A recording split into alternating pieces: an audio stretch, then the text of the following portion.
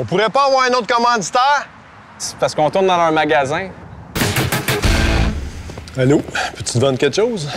Oui, euh, faut que je dévisse une euh, tablette dans mon nouveau condo, puis j'ai pas vraiment d'outils. Pas d'outils? Non, je suis pas très manuel. Fait que je me cherche peut-être une drill, mais vraiment pas chère parce que je m'en servirai pas souvent. OK. Quelque chose pour toi. Fait que pour le monde qui veut pas d'outils, l'idéal, c'est des drills jetables. Des drills jetables? Mon Dieu, il me semble que c'est pas très écologique. Ouais. Au lieu de l'acheter à la poubelle, euh, t'as juste à acheter dans le bac à compote.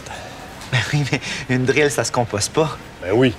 C'est juste qu'une drill, euh, c'est plus long. Bon, euh, ça coûte combien? C'est 25 pièces, ça vient avec une boîte de vis. Quand la boîte est finie, la drill aussi. Puis avez-vous des, euh, des embouts? Ben, c'est des drills jetables. La bite est soudée dessus. Mais t'as la carrée, l'étoile, puis la drill à tête plate. Oui, mais, mais moi, je sais pas quelle drill qu'il me faut. Dans ce cas-là, ça va te prendre le kit. C'est 120 pièces puis t'es chanceux. Quand t'achètes le kit de drill jetable, ça vient qu'un bac à compote. Pas de fruits.